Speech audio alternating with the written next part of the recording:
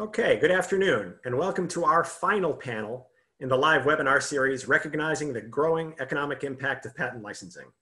My name is Brian Pomper. I am the Executive Director of the Innovation Alliance, one of the co-sponsors of this series. Thanks to our other co-sponsors, the Licensing Executive Society USA and Canada, the Licensing Executive Society International, the Global Innovation Policy Center at the US Chamber of Commerce, AUTM, and IP Watchdog. This last panel is entitled Increasing the Visibility of Licensing Economic Impact and Addressing the Challenges in Cross-Border Licensing. Our moderator is Dana Colarulli, the Executive Director of the Licensing Society Executives International, Licensing Executive Society International, a co-sponsor of this conference. Before I turn it over to Dana, a note to our viewers. If you have a question you would like to ask the panel, please use the chat function by clicking on the icon in the row of icons at the bottom of your screen. Dana, over to you. Thanks, Brian. Uh, good afternoon, everyone. Um, excited to be here to help moderate this panel. Um, let me talk a little bit about me. I'm, I'm Dana Colarulli. Uh, I'm the executive director of the Licensing Executive Society, as, as Brian said, the sponsor of this conference. Um, I'm a professional patent system watcher uh, and an advocate of a well-functioning system and, and, and, and often participant. Um, I also formerly served as director of government affairs at the PTO, and before that, um, uh, legislative director of the Intellectual Property Owners Association.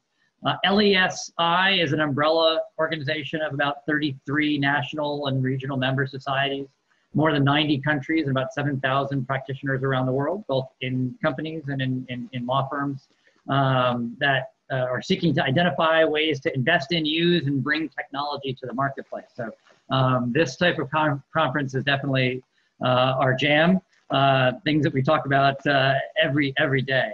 Um, so you know, IP is at the heart of the most innovative high growth businesses. Effectively managing these assets helps to convert innovative ideas, innovation results, and other intangible assets into tangible business assets that can determine the, sex the success or failure of enterprises. Um, it's a task that, as I said, we talk about uh, daily uh, within the LES community. Um, and then and even though the current pandemic has challenged our ability to gather physically, IP driven technologies have been at the forefront of responding to COVID needs. Um, and in fact, economically, during the pandemic, we've seen an increased concentration of the value attributed to companies in intangible rights versus their tangible assets. So the COVID impact certainly is having an impact economically as well. Uh, but that overall impact is uh, not always uh, well understood or even articulated. Um, and the impact of not just the company, but the overall uh, economy. So we, we've got a big challenge with the topic that Brian set out for us today. Um, and, and it really is to close out now these uh, four panels uh, of discussion uh, from talking about the data, how we measure the impact of licensing, the overall economic contribution, uh, the global impact, and then leading to our task, uh, armed with all of this information, how should this direct policy discussions here and globally, and what are the challenges to doing so? So I'm going to uh, introduce our panelists uh, in a second. Um, let's, I want to um, structure our task uh, that Brian set out for us in three buckets. One is increasing the visibility of the value of licensing, its role, and its significant economic impact. And, and, we've talked a bit about how to, how to measure that. Uh, but the question is, what do, we, what do we do with that? Number two, identifying the challenges to effective licensing that face inventors, companies, and individuals.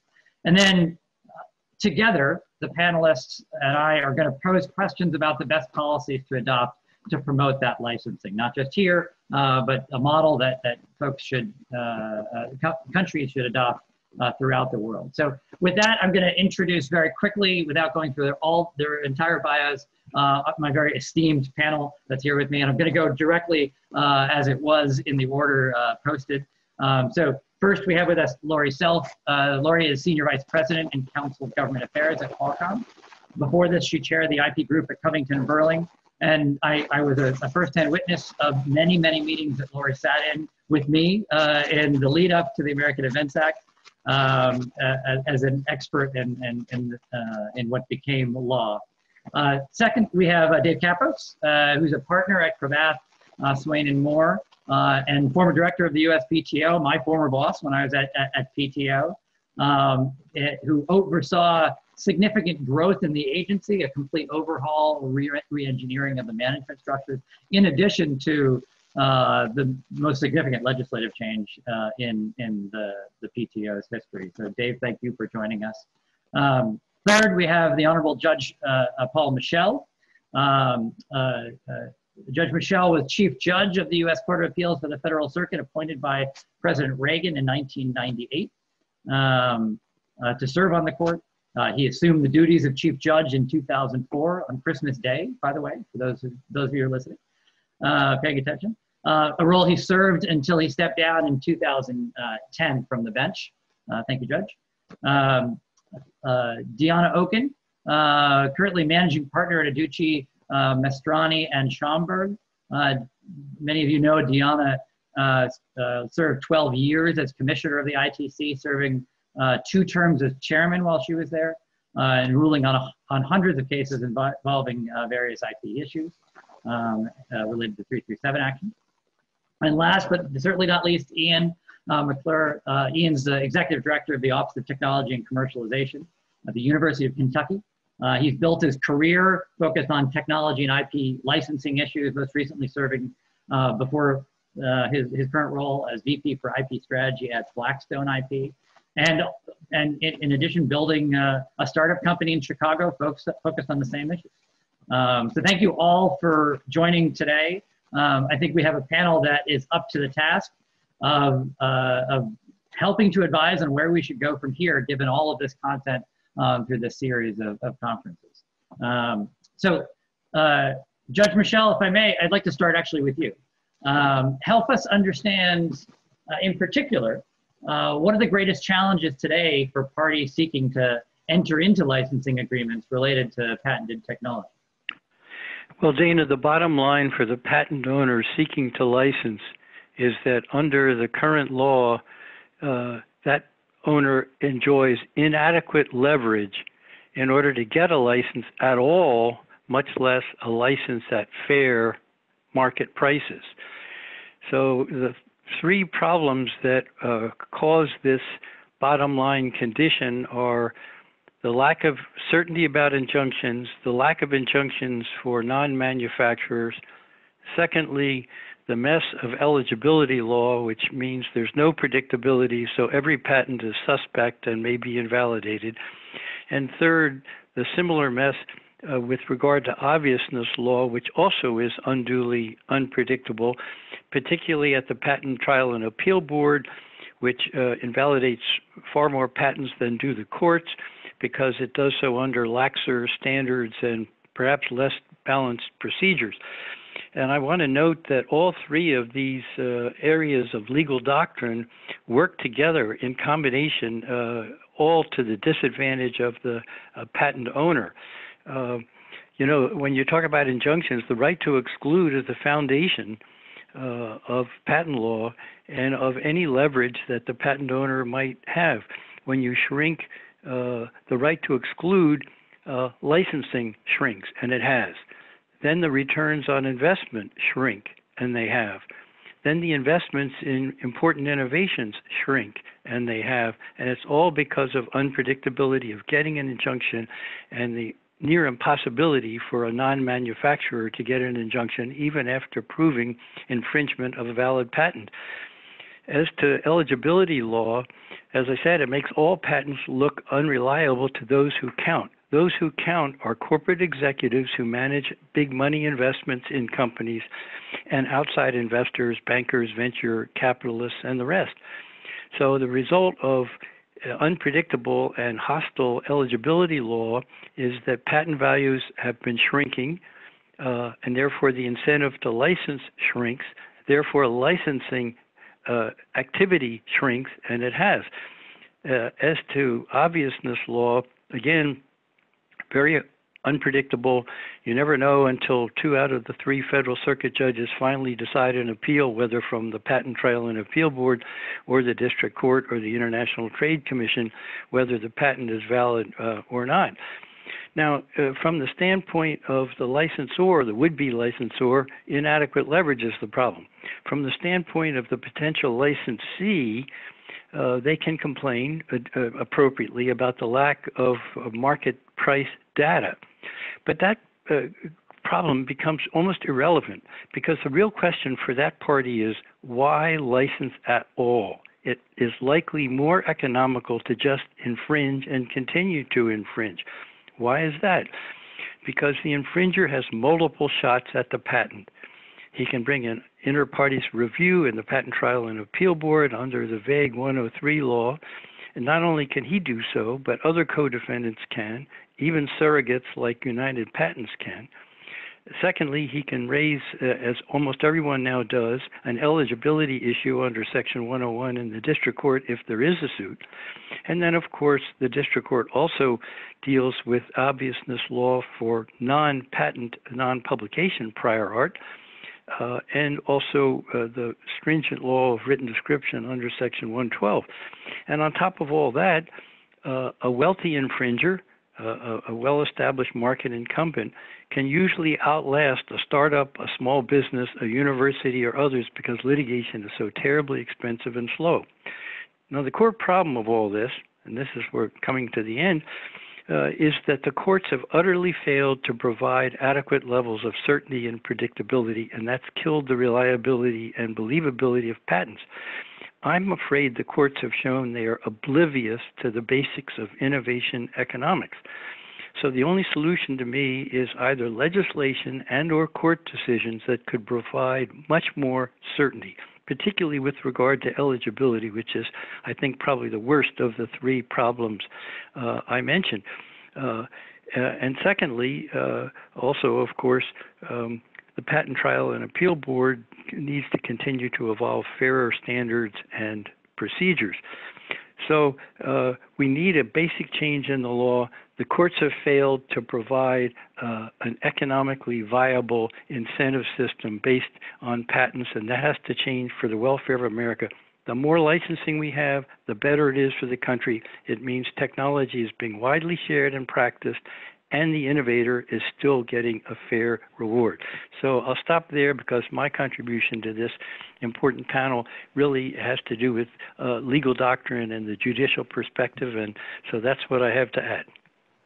Thanks, Judge. But I, I, I, the takeaway is uh, if you're trying to create a system that's encouraging and enabling uh, the licensing of these valuable assets, these three fa factors, at least in the US, are not doing it. Dave, you want to add to that? Yeah, thanks, Dana, and thanks to Judge Michel for really summing that up extremely well. We have quite a mess on our hands. I just want to put a very briefly a finer point on a couple of items. Judge Michel mentioned the lack of availability of injunctions in Section 101.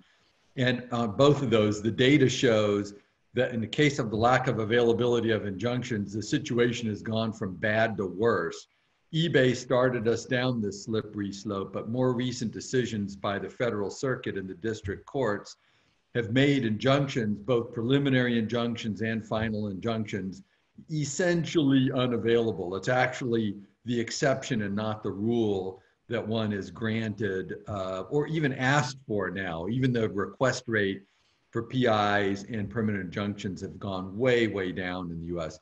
And then just as a data point on section 101, you know, some people will point to the occasional decision on the part of the federal circuit that upholds some patent claim under 101 and say, well, the situation is working its way out and it's self-correcting and the court is fixing the law. Well, the data also shows that's not the case. Um, there, sure, there are occasional good decisions. Then they're regularly followed by terrible decisions relative to 101. And uh, at the end of the day, we're seeing about the same rate of invalidity in the courts under Section 101. I'm setting aside what the USPTO is doing because it doesn't call the shots, the courts do. At the end of the day, we're seeing the same levels of invalidity under Section 101 as we were five, six, seven years ago when the Supreme Court decisions came out.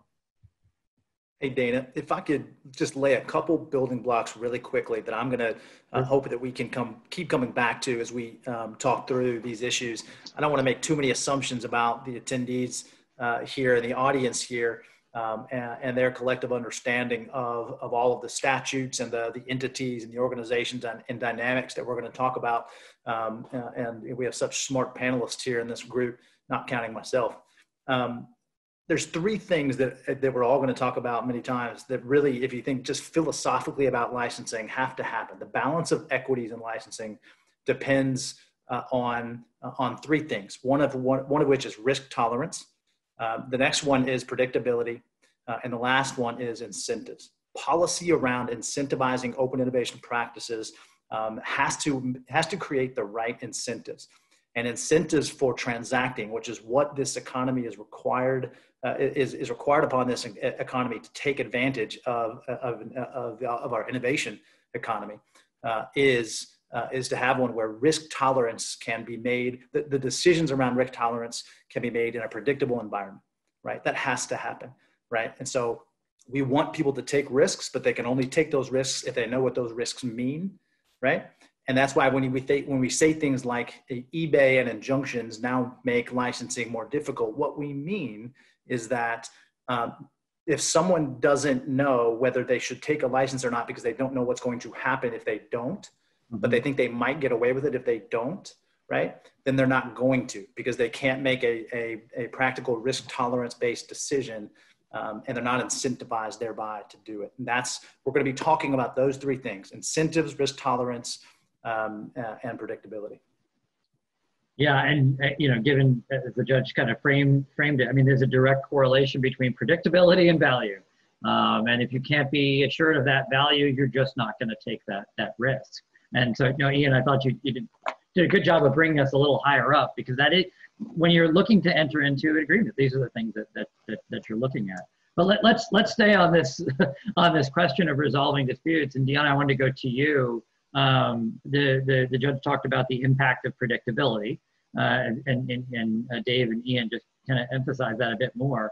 Um, the ITC is a huge player in, in, this as well, particularly in recent times. We saw an uptick uh, after the AIA, um, uh, folks choosing the ITC as a venue to resolve disputes, uh, to, to, use uh, exclusionary orders a bit more. What's the impact of the ITC on this idea of predictability of, uh, of value of rights.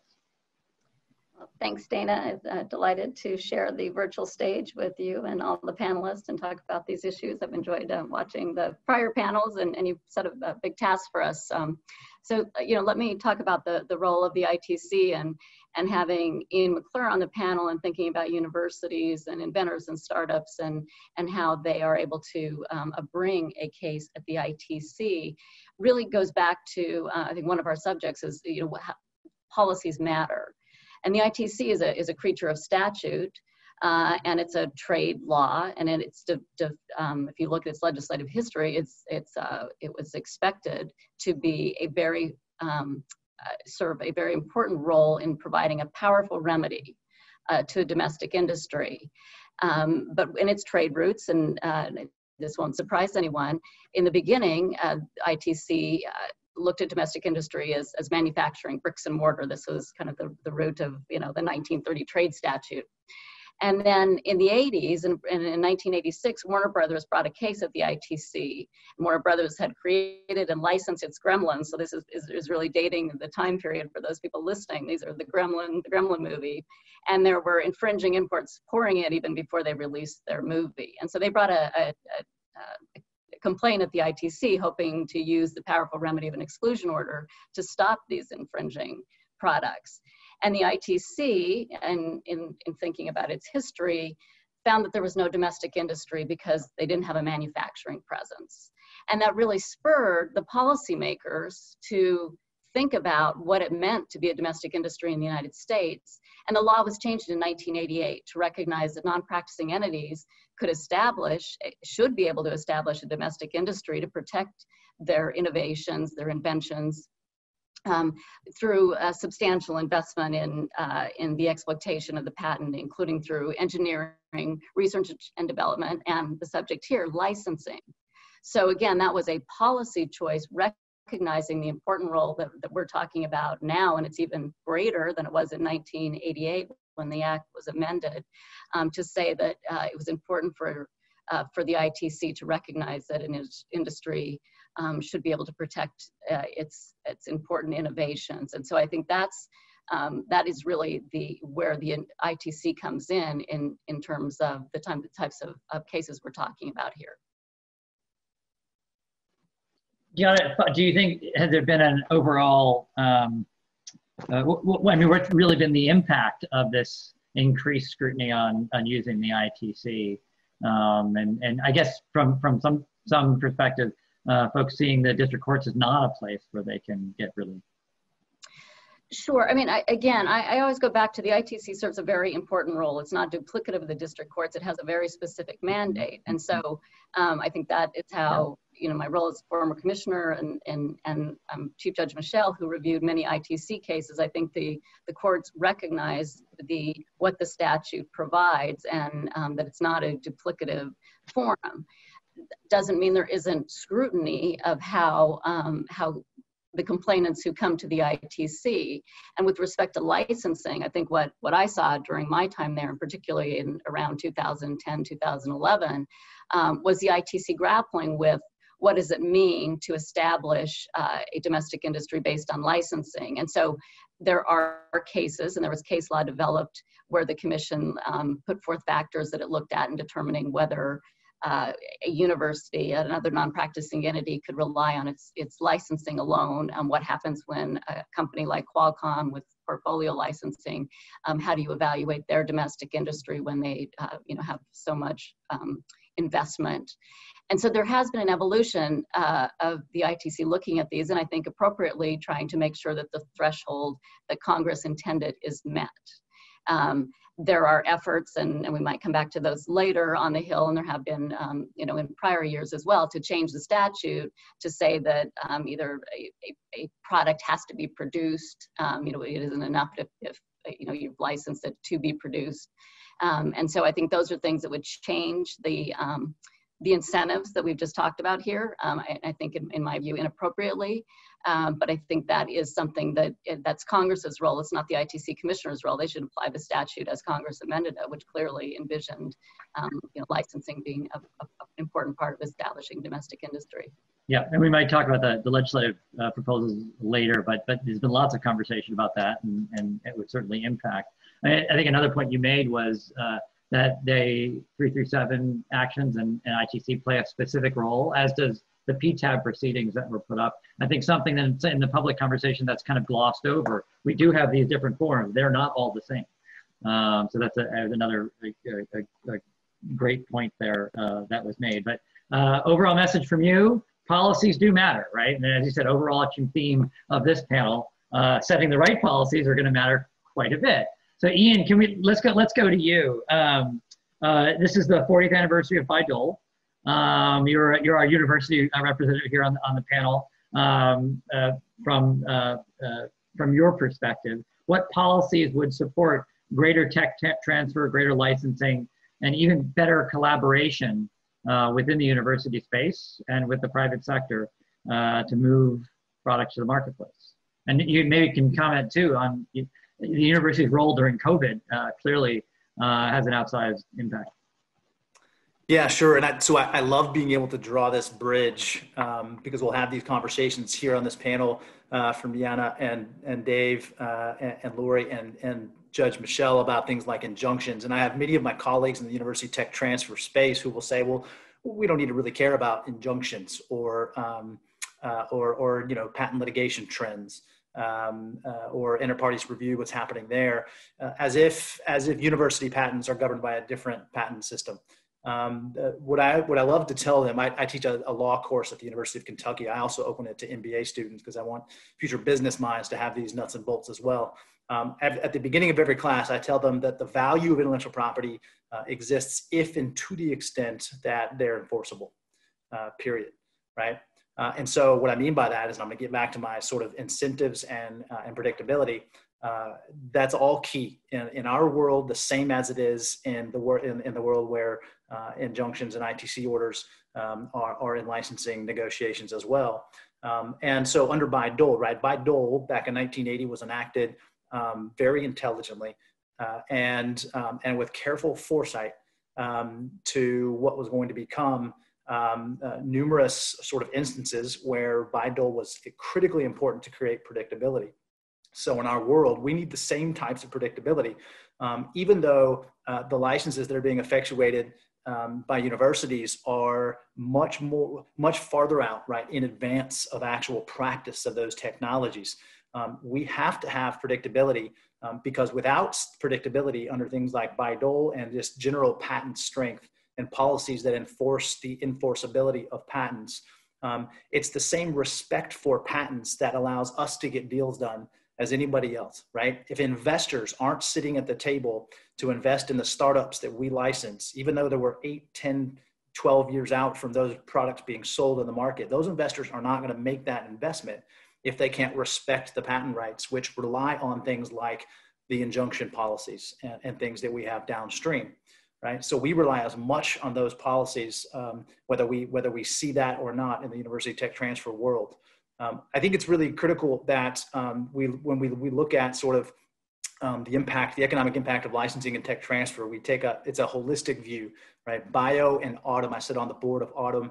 Um, Bio and AUTM published a paper um, uh, in 2019 that uh, it was a, it was focused on the economic contributions of university academic licensing, um, and they found kind of three large summary points that are often um, uh, marketed uh, uh, the first of which really is that um, the, the industry gross output of academic licensees uh, ranged from 723 uh, billion to 1.7 trillion. Now, this is over a 20 year period, 1996 to 2017. Uh, the contribution to, to, GDP, gross domestic product, from those license, licensees or licenses was 374 billion to 865 billion.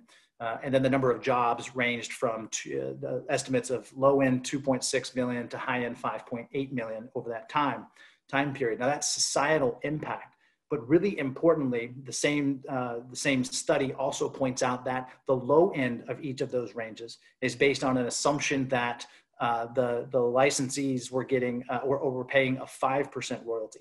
The high end of those societal impacts, uh, contribution to GDP and things like that, were based on an assumption of a 2% uh, royalty.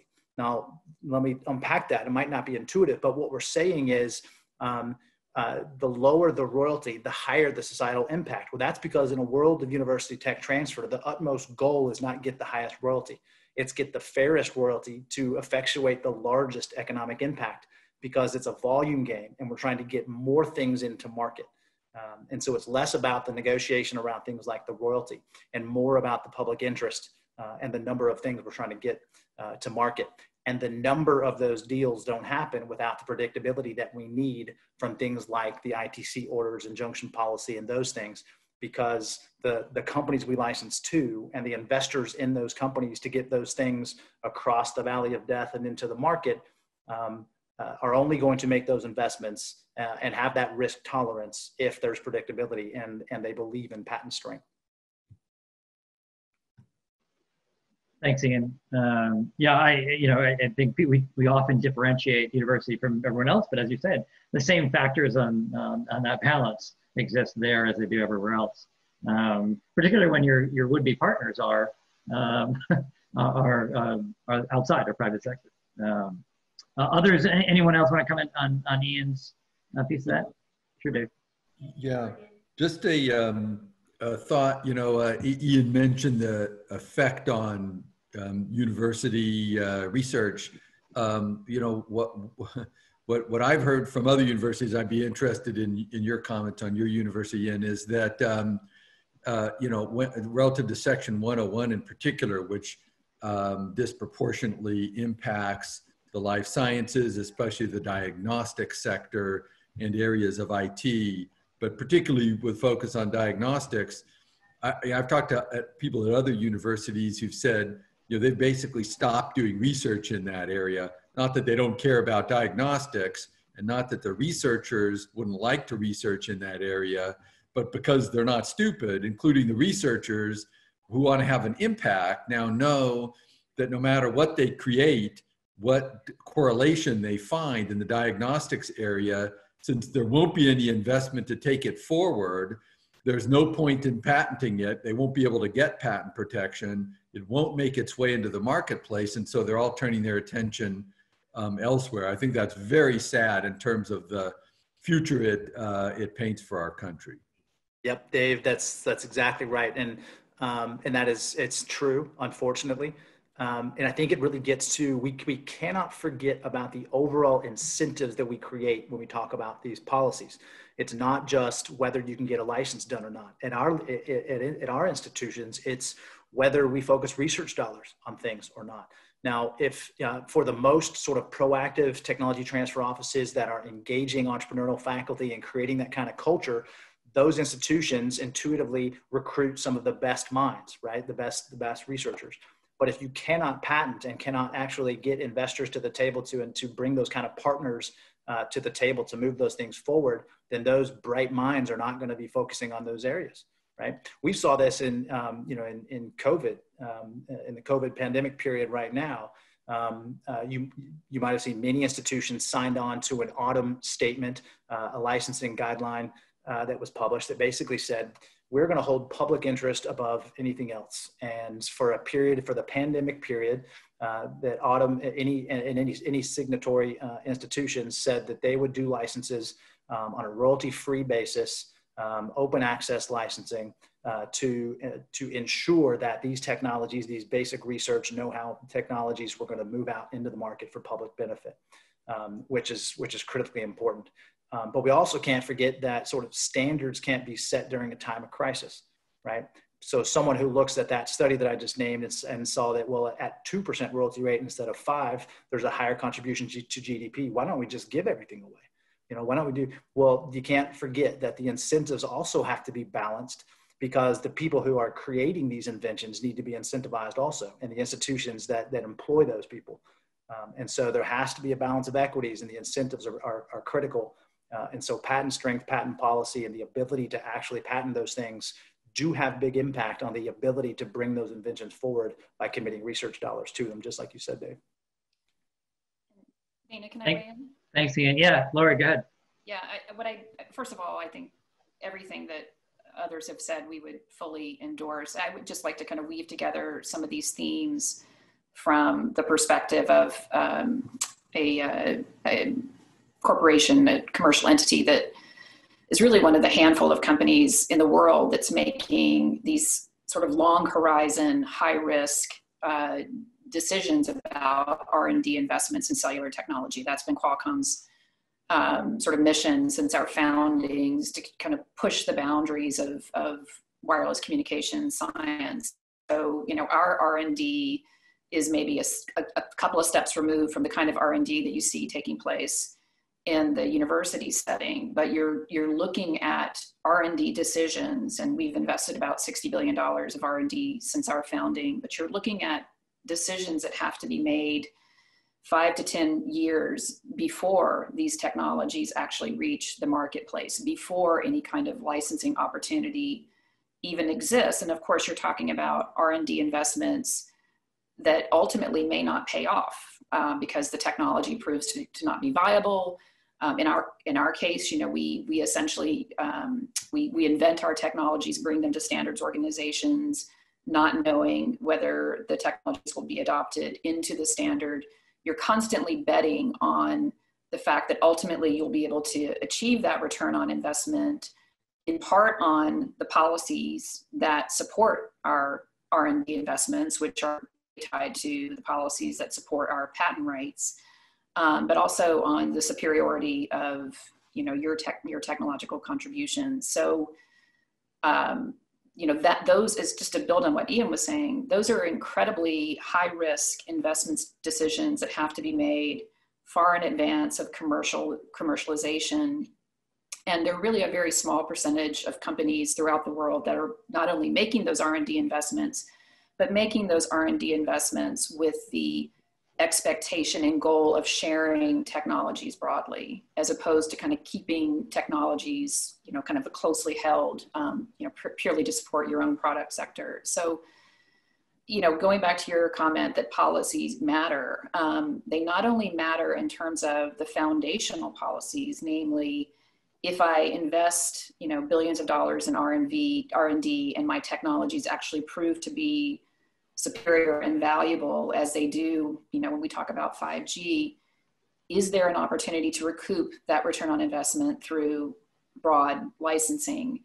And it's not only the impact on injunctions, um, you know, through the courts that's been so detrimental to that kind of risk reward calculus. We also see, you know, and Qualcomm has been sort of the um, uh, tip of the spear on this. We've we've seen antitrust policies, for example, throughout the world being used as a form of um, stifling the ability to obtain injunctions or a form of price regulation in, in countries through Asia that have kind of used antitrust as a means of driving down otherwise uh, recoup in terms of the value of the license.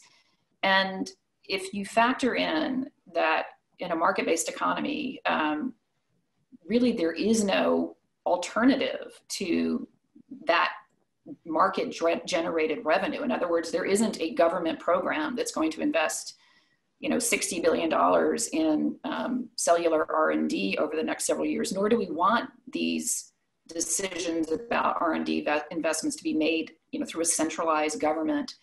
Um, but if you can't, if you can't rely on our policies to support our patent system and to create incentives to make these huge R&D investments, you've you've fundamentally um, diminished the you know uh, the, the, the ability of our innovation economy to function. So I would just emphasize the points that have been made about the importance of injunctions. You know, again, the importance of an injunction is not to stop somebody from using your invention. It's it's to incentivize that person to come to the negotiating table and to to engage in good faith negotiations over the use of your technology and the value of your technology.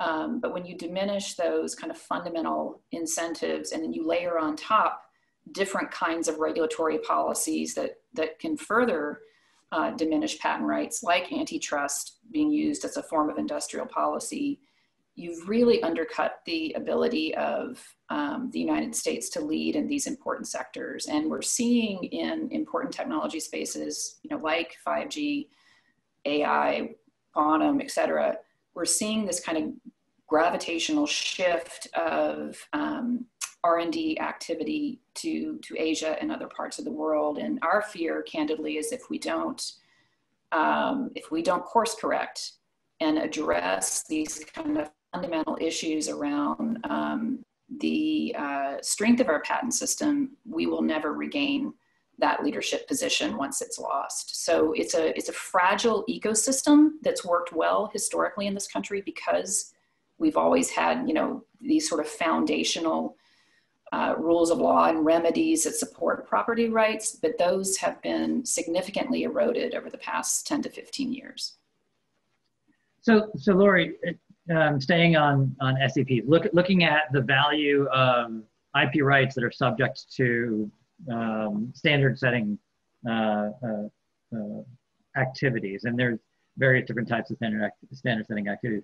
Are, are the SSOs playing an effective role uh, in both valuing the IP and, and, and serving the role to help move forward the technology in your perspective?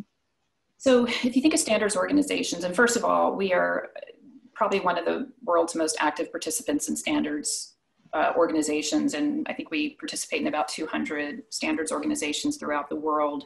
So we're a big believer in um, global industry-driven consensus-based standards. Mm-hmm. are incredibly important, particularly when you're talking about um, cellular cellular communications that are you know sort of end-to-end global systems-wide um, technologies that are really a, you know kind of a foundational technology for everything that's built on top you have, I think, you have to th think though about standards in, in kind of two buckets to be, you know, at the risk of being over um, oversimplifying. There is the sort of uh, technology selection part of the standards organization where, you know, we invent, we help, you know, through our inventions, through our kind of 5G roadmap, through our vision for what 5G needs to enable in order to um, to justify candidly invest, investments by carriers and the like in a new gener generation of cellular, we, we, you know, we make those R&D investments up front and then we bring our inventions into the standards body. And there's historically been, you know, a consensus-based engineering driven, almost kind of technological meritocracy about which technologies are, are, elect, are selected. there's then on top of that the sort of policy arm of the standards body where historically if you if you contribute your um, patented technology into a standard you do so um, with a good faith commitment to license that technology broadly what's often called the frand or rand commitment mm-hmm. and historically there's been a recognition that that's a you know that's a, a kind of a, a, a uh, if you will, or multilateral commitment where we agree to license our technology, but there's a, a commitment on the other side to take a license on reasonable terms, to engage in bilateral negotiations, if you will. And what we've seen through some of the standards organizations are changes in the IP policies associated with that FRAND commitment that have um, significantly impeded um, the ability to obtain injunctive relief, and again, recognizing injunctions as a form of leverage, you know, at their core, mm-hmm. um, and also impeded the ability of um, patent owners, um, SEP owners to achieve what we consider to be a fair royalty. And again, historically, these have been market-based decisions, market-driven negotiations, and we've seen in the last several years really a thumb on the scale, in our view, um, in favor of you know the implementers who um, who have really driven some of these changes in IP policies.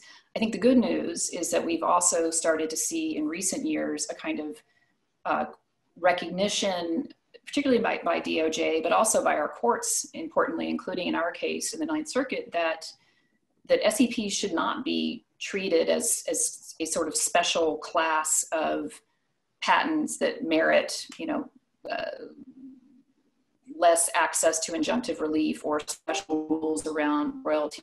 I think that course correction is a really important one because again, there's only a handful of companies in the world today that are making these large investments in the R&D that forms these um, standardized technologies. So it's been a real challenge, you know, what we've faced in some of the standards bodies that have moved towards, towards these highly restrictive and what we consider to be highly detrimental policy changes, which by the way, were kind of ex post policy changes. In other words, these are policy changes imposed well after, you know, the investment decisions that we've made over the past, you know, 10, 15 years to, to invest in standardized technologies. But um, it is, I think, a, a really encouraging development to see the DOJ and also the new statement by DOJ, PTO, and NIST that really are a signal to the global standards communities that, you know, if you um, if you diminish the value of standardized technologies, if you diminish the ability to license standardized technologies on fair terms, you you in fact um, disincentivize uh, those investments in standardized technologies that are really critical to sectors like 5G. Yeah, that makes sense. Uh, so I, you know, I, I kind of asked the question about uh, standards to to move then into the conversation and um, what is the role of government here? uh, and, and, and Dave, I'm going to look to you to, to help us lead us through that. Are there, we, we've kind of talked about the landscape, we've talked about some of the challenges, we've talked about the lack of visibility on the economic impact. So, you know, the question is what policies should we adopt to enable more licensing? If this is a critical activity to make sure we're getting technology to the marketplace. Um, it relies on that predict, predictivity, uh, predictability. It relies on that certainty. Um, that should guide our public policy discussion uh, somewhat, shouldn't it? Yeah. Well, yes, of course, uh, Dana. And you know, and, uh, to come to the question, I would start by saying that um, the first thing we needed to do, and we've now done, to um, uh, to invigorate uh, licensing is to get the antitrust regime out of the way um, when it comes to standards and SEPs.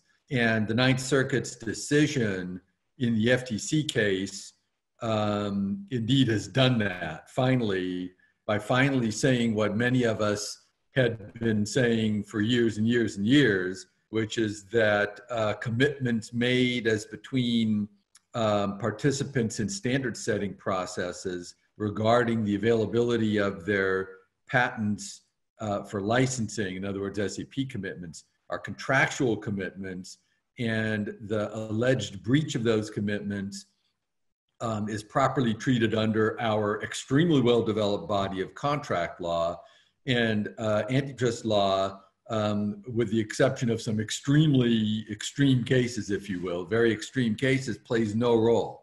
I was really pleased to see the Ninth Circuit finally come out and say that. And that's a big step because it means that licensing can move forward as it should and must um, as a matter of bilateral uh, contractual commitments.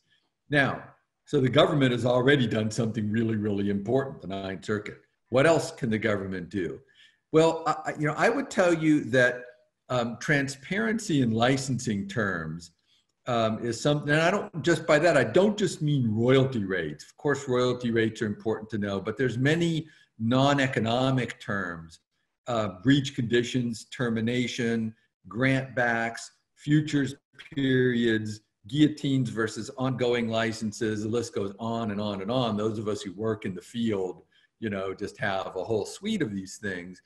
And having some um, approach to gain transparency or greater transparency about what's market in licensing provisions um, would be helpful. And it's a place where the government can play a role in, in the form of providing incentives or even acting as a, an anonymous or pseudo pseudonymous um, uh, collecting uh, site for um, licensing related information.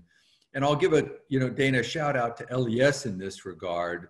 Um, the government doesn't currently play a role to any significant extent, but LES has played a great role. In fact, in the life sciences area, I think the best by far repository compendium of licenses, terms and conditions, mostly not exposing um, uh, identities of parties, but showing you know uh, what what the provisions are that parties have entered into, including royalty rates in many cases. It's an outstanding database, and LES has stepped in and put it together. Um, and now, of course, with um, uh, SEC filings and artificial intelligence, it becomes possible to piece together a lot of redacted information. Fair enough. That needs to be done and, um, and it needs to be made available if that information can be pieced together through legal means. And that, and that in my mind, contributes to uh, the transparency that we need to engender um, greater access to licensing. Uh, the, the one other thing I'll say is this is stepping back just a little bit, why this is so important, and perhaps this expands a little bit on the comments that Laurie made a moment ago. You know, we know, we know, we've known for several hundred years that specialization um, is a is a value creator, enabling firms to specialize enables them to do what they're good at and to help and to work with others to get others to do what those others are good at and it facilitates economic development. Um, uh, we also know that um, standards-based licensing models, or what I call innovation standards, like 4G, like 5G, create enormous consumer surplus. They, they have spillover effects that are orders of magnitude greater in favor of consumers than all the royalties, all the profits made by the patent licensors combined. So this is like the greatest engine for consumer surplus generation and economic benefit and growth our planet has ever discovered. It's something that we need to champion.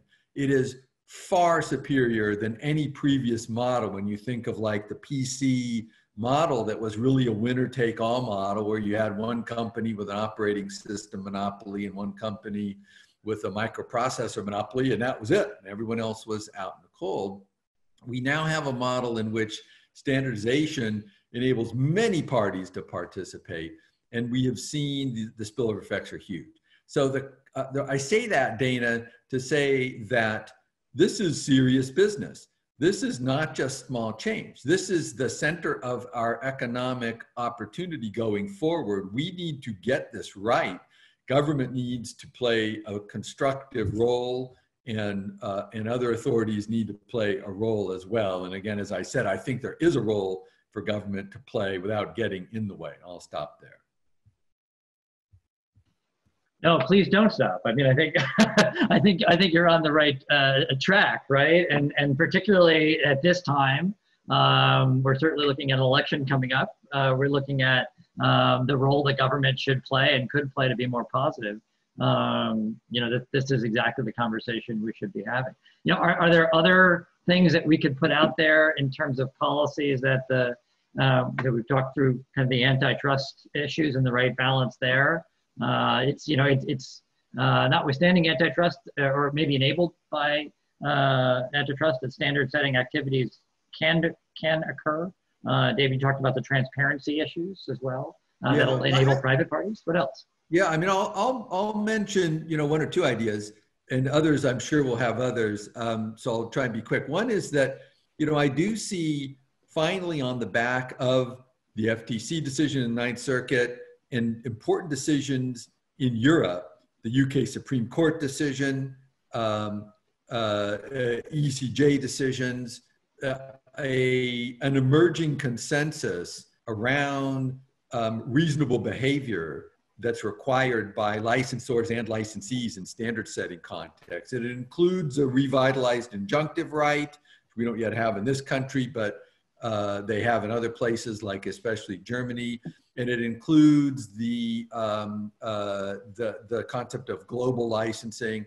And I think that all represents uh, one of the facilitators where governments again have acted in a way that's got visibility to what's going on in other countries and sets forth very reasonable standards of behavior um, that bind on not just licensors. They were always, you know, quick to uh, find fault with the behavior of licensors, but now also expecting licensees to step up to the table to act like adults, uh, to make good faith counteroffers, to advance licensing negotiations, et cetera, et cetera. But the other thing that I'll mention that I think is really missing and we need to start talking about is the need for consequences in addition to injunctions for those who hold out.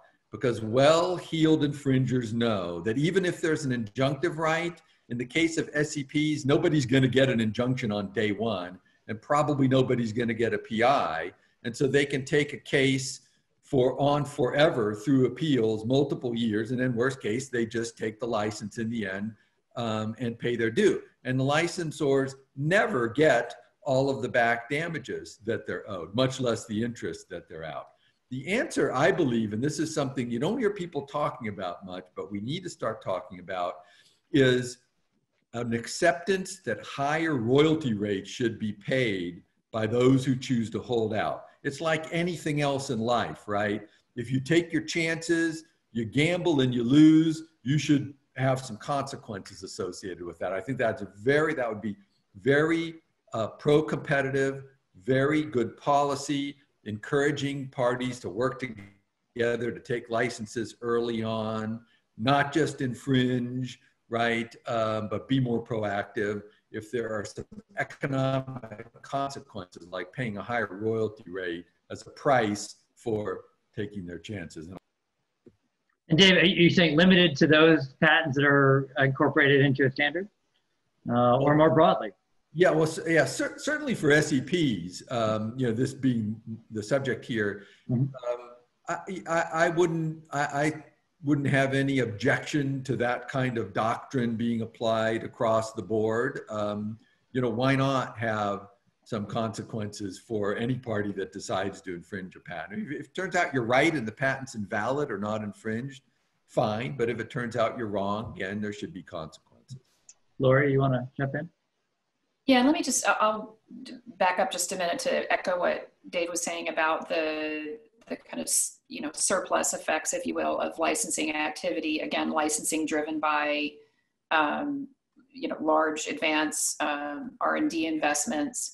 Um, you know, and the cellular 5G is sort of the perfect example of a, of an enabling technology that's enabled by licensing um, that will create tremendous value, economic value for all of the verticals and new business models that will be built, built on top of cellular. And we've seen that in previous generations of cellular with 4G and the gig economy and so forth. Um, but 5G is going to be truly transformative in that respect with several trillions of dollars of economic value built on top of these r&d intensive technologies that you know could not be uh, disseminated broadly but for a patent licensing ecosystem.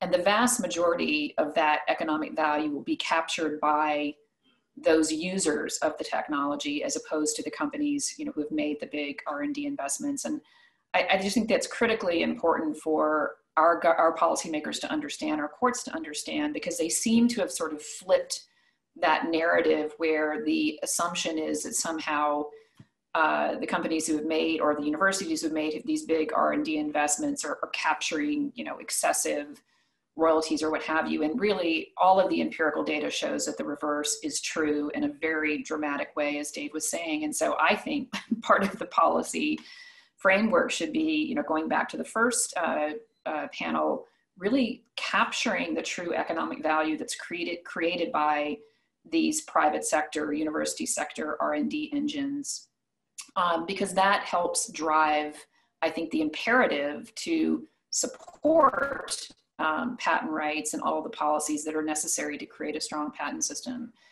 Um, I, I, also think it's uh, critically important that we, you know, that we focus on fundamentals. Um, we have lost our way, as we've said repeatedly throughout this panel, in understanding the importance of the remedies historically associated with patent rights. Um, whereas if you look at China, for example, you've seen a country very determined to kind of move up that innovation value chain by by actually improving its patent system. Um, you know, as we uh, seem to be kind of stuck in reverse in diminishing hours. And then I think also, Dana, I think it's really important, eh, you know, looking as we've talked about at the broader set of policies that are important to um, this R&D investment calculus. For us, it's a question of do patents sufficiently incentivize and enable licensing that creates revenue opportunity? Do we live in a um, does our does our you know global economy support market access to you know fully um, uh, achieve that return on investment throughout the mm-hmm. world? Um, you know, do you have policies like antitrust that are becoming a sort of industrial policy weapon to diminish the rights of of IP owners. And importantly, as I think someone said earlier, does this do these framework of policies actually incentivize startup activity? You know, we have lived the crucible of you know antitrust attacks globally for nearly a decade. We're a large company, and that was a really difficult you know uh, uh, period to survive, candidly. But think about how this diminished system of patent rights, whether you're talking about SEPs or non SEPs, how that impacts our startup economy. And our startup economy has historically been, you know, along with our research, um, our university researchers, really has been the, the uh, springboard for so much ec- economic activity and technological development. And, and we are crippling that part of our, of our innovation engine. You, you know, when you talk about licensing and surviving litigation, if you're a start of R&D intensive startup, you you will never get to that point because no one's going to invest in you thinking that you're going to have to litigate your patents in order to achieve some sort of return on investment. Right. So uh, right. I think we are cutting, you know, we have to have policies that sustain our startup economy and our research universities and not just thinking about these issues through the lens of big companies, candidly yeah, literally, literally the, the, the, the, engine and we're, we're keeping the fuel from them to be able to succeed um, in this case. So uh, uh, we got our five minute warning about five minutes ago from Brian that, that we had to, to, to close up. I, I will say, by the way, personally, I think, you know, all of this conversation and the role that government should play, it all to me says the importance of having smart dedicated people serve in, in government. And, and Dave, you certainly uh, did that. Deanna, you did that. Judge Michel, uh, uh, serving the, the, the courts. you know, particularly if you look at, an election coming up, regardless of the outcome, having smart people that understand what the balance is is, is, is incredibly important. So, Brian, with that, I'll I'll I'll I'll end it and uh, and, and turn it back to you. But thank you for letting us have this conversation. It was uh, it was fun. Yes, thank you, Dana. Thank you all for a great panel. Thanks for taking the time. And thanks again to our co-sponsors and to everyone in the audience. Whether you're online just for this panel today or watch prior panels as well, thank you for making this webinar such a, a great success, this series, a success that it was. I look forward to continuing the conversation. Clearly, a lot of very important things uh, that were discussed, and I hope we'll continue to discuss. Please stay safe and well.